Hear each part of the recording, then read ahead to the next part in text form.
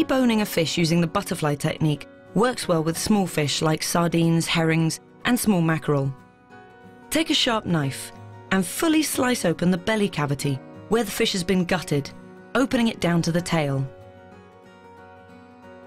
Cut the fins off with scissors, then slice off the tail and head. Open the fish out and lay flat on a board, skin side up. Firmly press down all along the backbone to flatten the fish out. Turn the fish over, skin side down.